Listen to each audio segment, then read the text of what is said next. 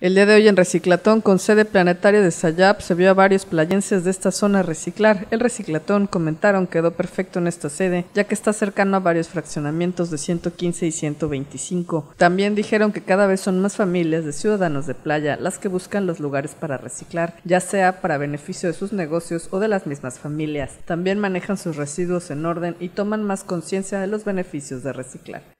¿Qué importancia tiene el que cada vez más familias playenses se sumen a este programa?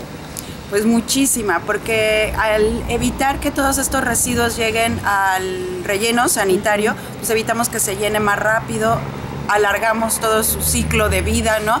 Eh, evitamos que haya pues estas eh, concentraciones de lixiviados que se van a ir hacia mantos acuíferos. Entonces podemos ayudar muchísimo, no nos cuesta nada.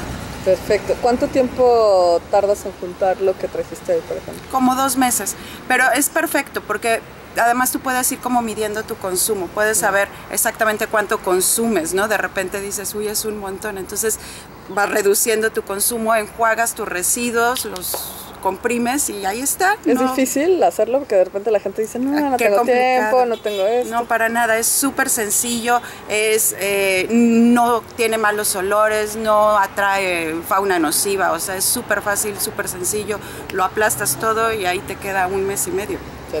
Recicladores también comentaron que conforme se va reciclando en casa se va bajando el consumo de algunos alimentos porque se toma conciencia de cuánta basura genera una familia.